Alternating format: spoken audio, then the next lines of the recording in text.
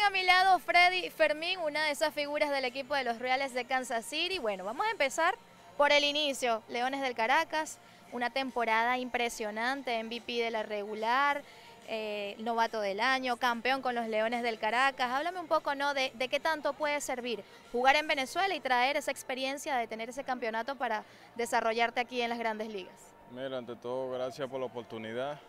Bien contento, son frutos que se suman a la carrera de uno y, y siempre dándole las gracias a Dios y a todas las personas que me han ayudado a ser parte de eso y nada, gracias a Dios por esos momentos. Y por cierto, el manager del equipo de los Leones del Caracas que está aquí con nosotros, asómate aquí José, asómate, José Alguacil está aquí como uno de tus coaches. ¿Qué tan importante es contar con esa figura y por supuesto seguir poniendo en práctica todos los consejos que pudo haberte dado en Venezuela? Mira, algo fundamental y especial tener a José Alguacil en, en nuestra parte del equipo. Y el año pasado desde el que me lo dijo trabajé en equipo. Son palabras clave en, el, en este juego y, y, creamos confianza todos los días divertirnos eh, disfrutando del juego. Y bueno parte de este equipo bien contento por él bueno, José, vamos a aprovechar tu presencia. Felicitaciones por todo lo logrado en Venezuela. Creo que fue una temporada especial y que además significó muchísimo para el país porque pudo unir a Venezuela, no solo a los que, iban a los Leones del Caracas, sino a toda la gente que estuvo atenta a lo que, a lo que pudiese pasar. Para ti, ¿qué significa no saber que muchachos como Freddy que hicieron una temporada especial, increíble en Venezuela, puedan estar aquí haciendo también un papel fundamental, ¿no? Ganarse un lugar en el equipo. Bueno, antes que nada, gracias por la oportunidad y Mira, Freddy lo decía, me recuerdo que antes de irme a, Venezuela, él estaba en Arizona y le pregunté si se podía acercar y reunirse conmigo. Sacó tiempo para, para hablar conmigo y las palabras que me dijo fue, mira, estoy aquí a la disposición de lo que tú me necesites. Le expliqué cómo era mi persona con los jugadores y me dijo, bueno, no, estoy en bordo, estaré pronto con el equipo, y le dije, bueno, contamos contigo y de verdad que fue una pieza fundamental. Me alegra que le haya sacado provecho, que fue lo que le dije en esa oportunidad. Le dije, sácale provecho a la oportunidad. Eh, y bueno, y aquí está de nuevo en Grandes Ligas, uh, tratando de poner su nombre en alto y por su familia y por supuesto por, por nuestros Leones del Caracas y Venezuela. Muy bien, ¿qué tanto crees que has madurado, no? Del año pasado a este año en donde estás viendo más acción, ¿no? De forma más regular. Mira, aprender a la madurez, confianza en el juego. Eh, la Liga de Venezuela no es, como dicen, pues no es fácil y, y, te enseña mucho y de verdad a mí me ha enseñado a la presión, a, al trabajo en equipo y, y, de verdad eso es lo que, lo que significa jugar la invernal, aprender mucho. ¿Cuál es la, la diferencia real no, para ti de, de, la Liga de Venezuela a las grandes ligas, la que más notas? La diferencia, uh, que, uh, no, no para mí, es, pa, pa mí es todo igualito porque a la afición, presión, hay nivel. Aquí hay más nivel, claro, el mejor béisbol del mundo, pero no le veo así diferencia que digamos. Para ti, José, ¿cuál crees que sea la mayor diferencia ¿no? del béisbol invernal? No solo en Venezuela, sino que tú también estuviste en la República Dominicana dirigiendo a también hacer un papel muy importante como lo es ser un coach de las grandes ligas. Mira, la diferencia es, ah, en el invierno todo juego es importante, no que aquí no, no lo sea, pero son 162 juegos y en la liga de invierno es una liga que es corta, tienes que arrancar desde el principio, tienes la, la, presión, digamos la presión de los fanáticos, eh, en el caso de nosotros el año pasado, una fanaticada hambrienta por un título que no había sido logrado en 13 años y uno de los mejores equipos de Venezuela eh, es los Leones del Caracas. Y bueno, eso, eso hace que, que, aprendas a vivir bajo depresión, a madurar en momentos oportunos, el día a día.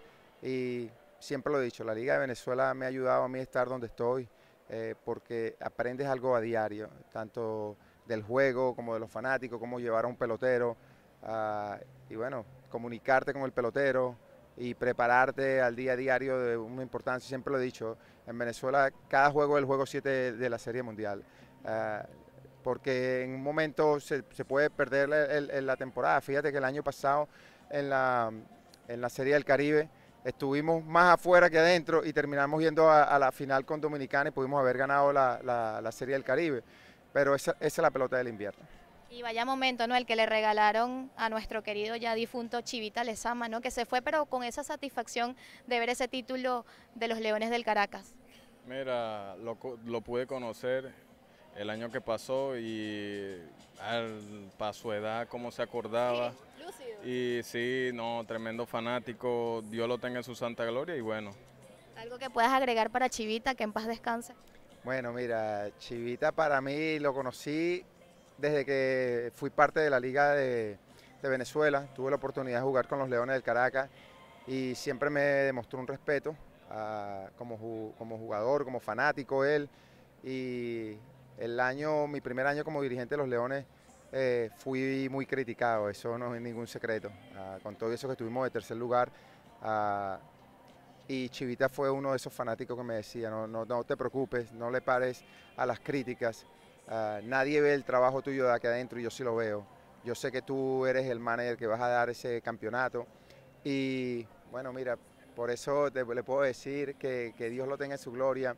Sé que está contento. Yo creo que estaba esperando ese campeonato. Se nos fue, pero no era porque se tenía que ir. Eh, Dios lo mandó a buscar porque, como tú lo dijiste en un momento, más lúcido que Chivita no hay ninguno. Eh, te, hablaba de cosas que tú ni te recordabas y de verdad es admirable. Una persona que tener, esa pasión por el, por el béisbol, el amor a, una franquicia y el respeto a, a nuestra organización o nuestra liga en Venezuela, de verdad que una persona que, va a ser extrañada este año y se, Dios quiera que, la liga le pueda poner el, título o el, o el, campeonato, se lo dediquen a Chivita, porque no todo el mundo llega a 104 años y apoyar un equipo por tanto tiempo. A José le brillan los ojos cuando habla de Chivita Lezama y ojalá, ojalá que la liga pueda considerar eh, hacer un homenaje más que especial, que sin duda se lo merece. Bueno, para ir finalizando, Freddy, quiero preguntarte por la presencia de Salvador Pérez, receptor, contar con un líder natural como lo es Salvador, que además recibió esa maravillosa distinción merecida de ser el capitán del equipo. ¿Para ti qué significa? Mira, como le digo yo, el paisano Pérez eh, me conoce desde que yo llegué a la organización y siempre me ha dado esos consejos por dónde ir. Y para mí ha sido un, un mentor, un mentor en mi carrera y me ha ayudado mucho en la parte de defensa, también del bateo y mi respeto, mi respeto siempre y bueno, algo especial tenerlo al, lado de uno. Qué bueno. El mensaje final de ambos para Venezuela, tú de Puerto Ordaz, el saludo a toda la gente de Puerto Ordaz. Mira, mi mensaje es que se porten bien, trabajen duro y nunca pierdan el enfoque y sigan trabajando duro. Un saludo a esa fanaticada, ya el béisbol de Venezuela se siente, eh, los veremos pronto, de verdad que, que Dios me los cuide y siempre le mando a esa juventud, los sueños se hacen realidad, sigan soñando. Ya lo saben, buenos consejos. Freddy Fermín, José Alguacil, seguimos con mucho más.